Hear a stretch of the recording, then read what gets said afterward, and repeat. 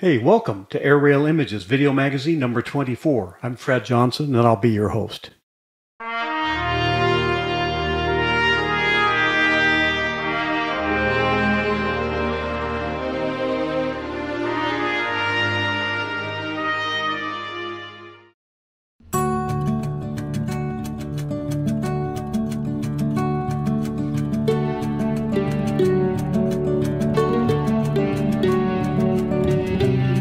Been sorting and scanning many B-25 Mitchell photos and film and video clips for a longer special program later this year.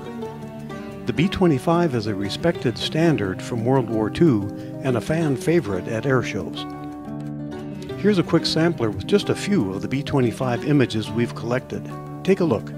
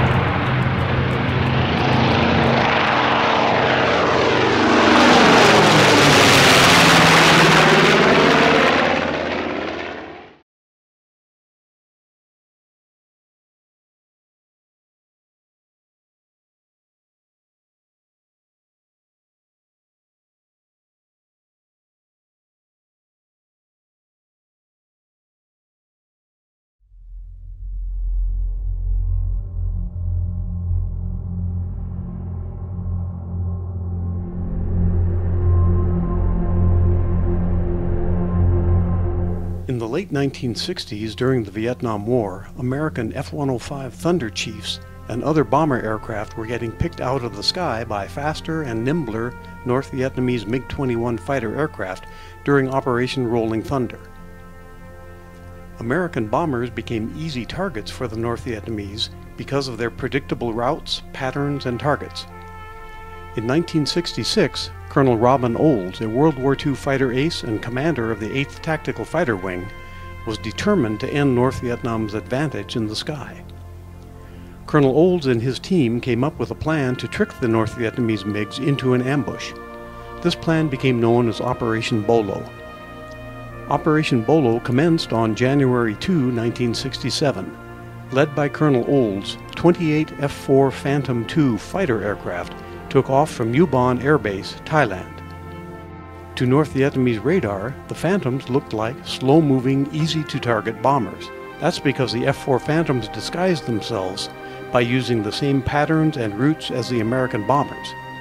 They also used the same radio frequencies, call signs, and jamming signal equipment as the bombers. The North Vietnamese MiG fighters flew in expecting easy pickings and found themselves baited into a trap by American F-4 Phantoms. By day's end, seven MiG aircraft were shot down with zero losses on the American side. The seven downed MiGs was significant because that was close to 50% of the North Vietnamese Air Force's inventory of these jets.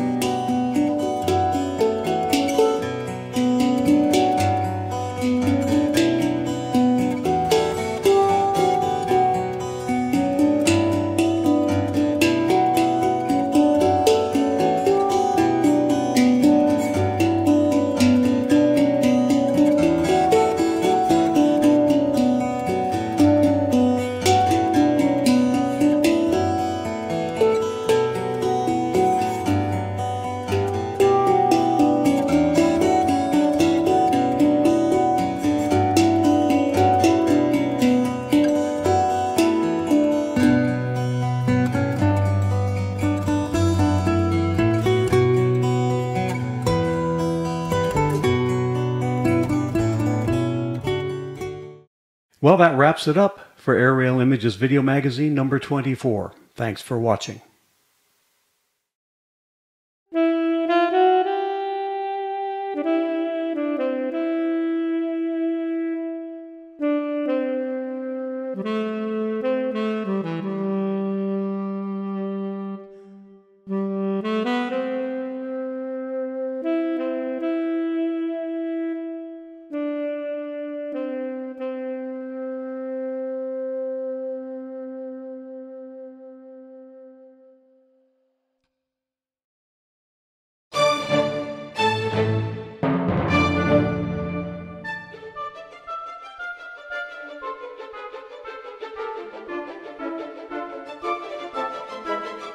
Música